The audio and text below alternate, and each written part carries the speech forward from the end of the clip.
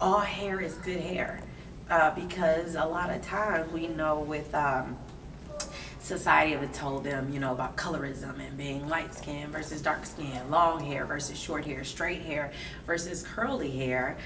And I'm trying to empower them to understand that all hair in black culture is good hair.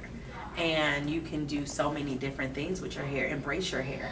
If you decide to wear an afro like Amaya is wearing, it's still beautiful. You should be confident with it, you know, and you can do different things with it. If you're wearing braids and just how versatile it is, you know, and you can just like them, you know, having the seeing the documentary where you know enslaved people use it to send messages and to create paths well for them it's the same thing what message are you sending you know uh, i'm strong i'm beautiful i'm confident uh, even being able to do their own hair. I don't, you know, some parents are aren't available or can't afford it. And braids are expensive. Very expensive. So with that, you know, it's just all the confidence of I can, you know, them being able to do their own hair, embrace that they're able to do it themselves, and giving courage to other young girls. It doesn't matter how old you are. You don't have to be 18. You don't have to be 21.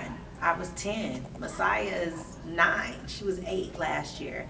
And look at what she's doing, you know, confident in her own skill set. That uh, even with confidence and skill set, you know, you don't have to, even if you're not academically strong, I'm giving them something else to demonstrate. I might be a strong braider.